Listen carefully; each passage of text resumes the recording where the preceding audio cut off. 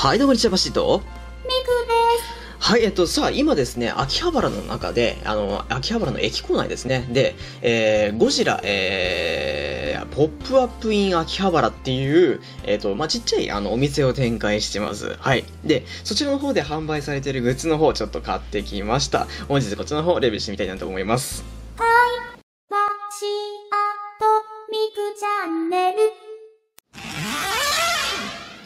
えー、つい最近、えー、ゴジラ、キングオブザモンスターズやってた影響もあったのか、はい、最近ゴジラの熱がまた凄まじいことになってますね。うん、いいことだなと思います。個人的にはすごく嬉しい。はい。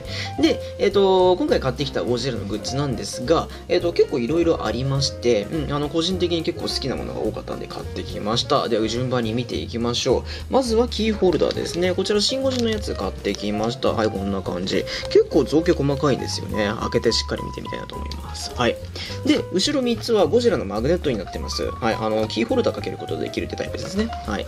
で、こちらもそうです。シンゴジのやつなんですけども、ねみくちゃん。はい。シンゴジのやつなんですけども、これも出来すごそうだよね。はい。ちょっと後で、えっ、と、やっぱり開封してみたいなと思います。はい。そして後ろにくっついてるんですけども、はい、このゴジラ。はい。招きゴジラです。えっと、史上最強のパワーで幸運を招くゴジラのキーホルダーになってます。はい。これが可愛いんだよね。開けてあげ、あの、後でね、開けます。はい。で、こちらが、えっと、平成ゴジラのマグネットになってます。こちらもやっぱり開けて、あの、小物がかけられたやつになってます。あの、招きゴジラがいるんだよね。はい。はいじゃあ全部、えっと、開けてね、細かく造形の方を見てみたいなと思います。はい、それでは早速、えー、とまずキーホルダーから見ていきたいなと思います。キーホルダーというか、携帯ストラップですね。はい。携帯ストラップはこんな感じになってます。はい、ちょっとごめんなさい、紙取りますね。はい。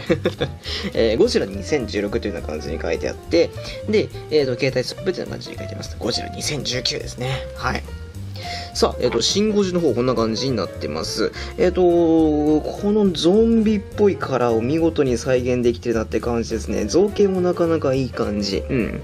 でも、シンゴジっていうと、まあ、大体こう、指をね、あの上に向けてるパターンが多いんですけど、これに関しては普通のゴジラのような構えになってますね。はい。まあ、たまにはこういうのもいいんじゃねえかな。ただ、腕ちょっと大きいよね、やっぱりね。はい。で、えっ、と、背中だとか尻尾の造形とかもよくできてて、なかなかいい感じじゃないかと思います。ただ、信号時の背びれは5列なので、そこの部分だけはさすがにちょっと再現ができてない感じ。3列になってますね。はい。で、えっ、と、あとはまあ、この赤い色ですよね。赤い斑点といえばいいかな。はい。ちょっと若干血を思わ思わせるような感じの造形。なかなかよくできてんじゃないかと思います。はい。信号時の特徴しっかり取れてるよね。なかなか感じ。はい。ちなみに立つ立たせることもできますね。これの他には、えっと、平成ゴジラですとか、あとは、あの、キングギドラとか、この辺のもの、あと、メカゴジラとかも置いてあったかな。うん、結構種類豊富に置いてありました。はい。ただ、まあ、いくつもいくつも買うとね、あの、キリがないんで、とりあえずシンゴジラで買ってきました。はい。そしてこちら、えっ、と、招きゴジラですね。すごく可愛いんだ、これが。はい。しっかり見ていきましょう。爪だとか歯とかのね、えっ、と、部分はちゃんと塗装がしちゃって、なんか招き猫を思わせるような形になってますね。すごく可愛らしくていいんじゃないかなと思います。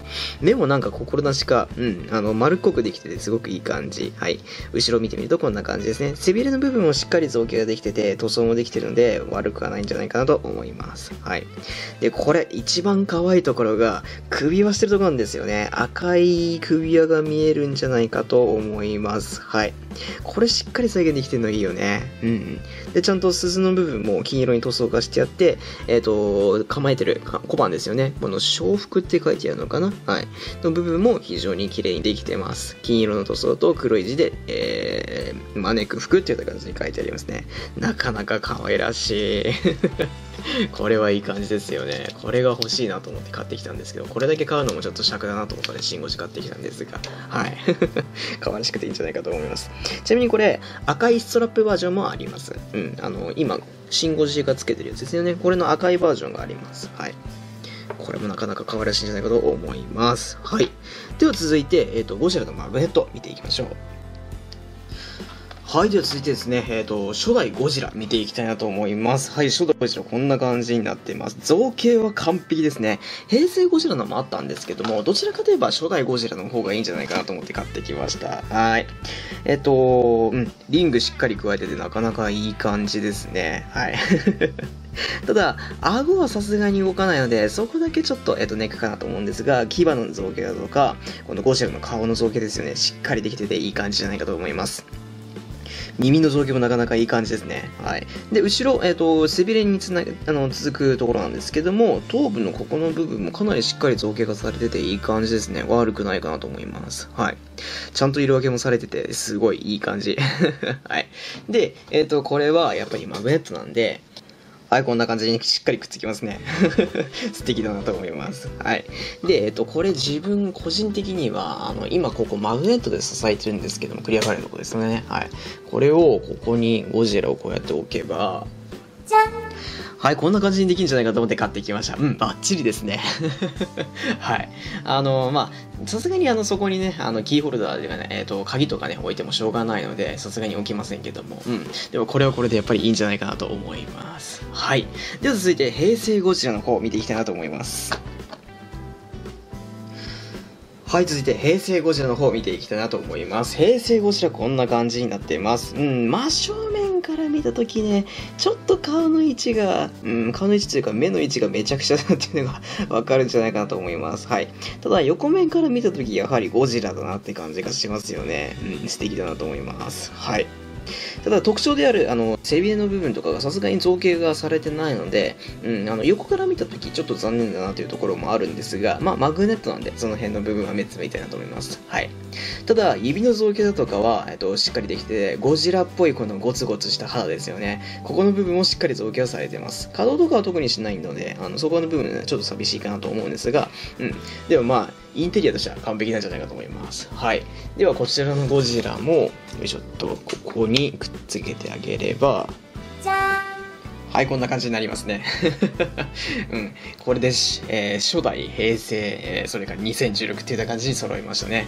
できればミレニアムの方も欲しかったんですが、ミレニアムのゴジラって、あの、2000と2001で、2002、えー2003、2004、そして2005というような感じに、4種類ほどいるので、うん、どれを商品化しようか多分悩んだんでしょうね。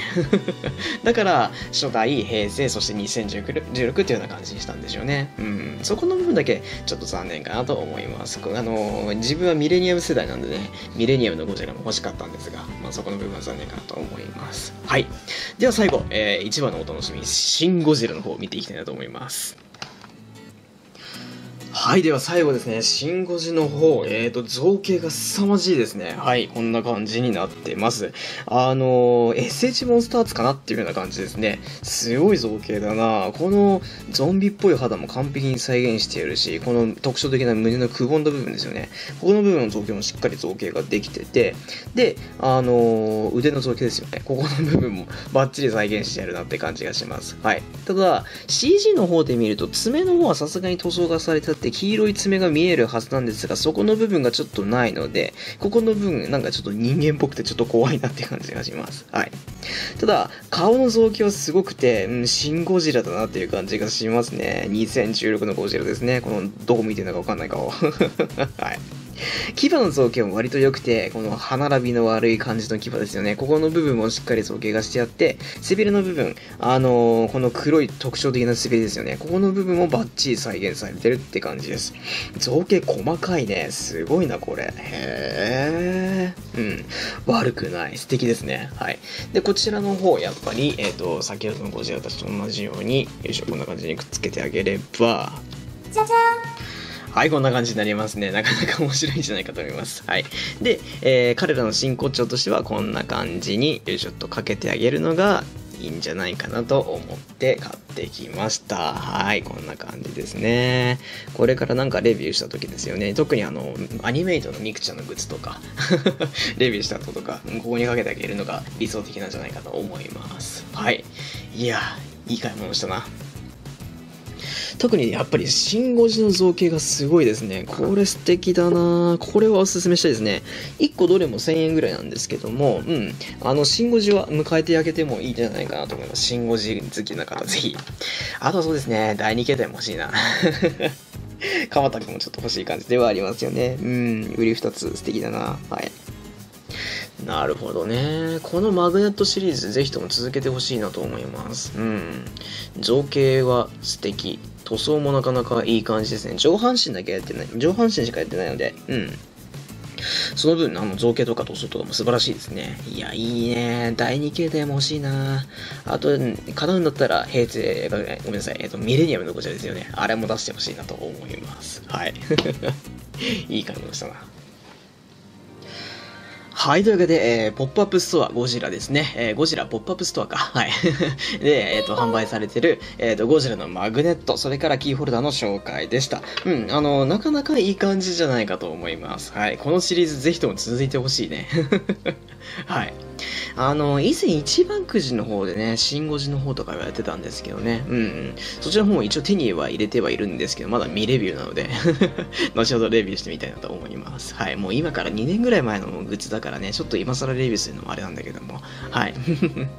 まあ何せよ、あの、このシリーズ非常に面白いので、うん、ぜひとも続けてほしいなと思います。はい。いやいいもの買ったなはい。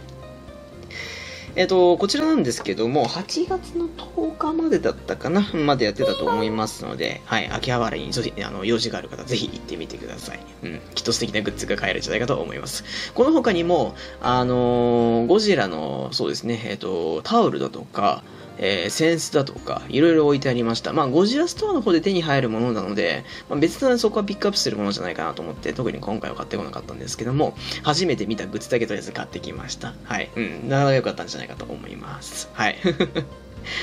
ゴジラストアのグッズもね、えー、毎回更新されてますけども、うん、レビューできる機会があったら、またレビューしてみたいなと思います。はい。というわけで、紹介してほしいと、ミクでした。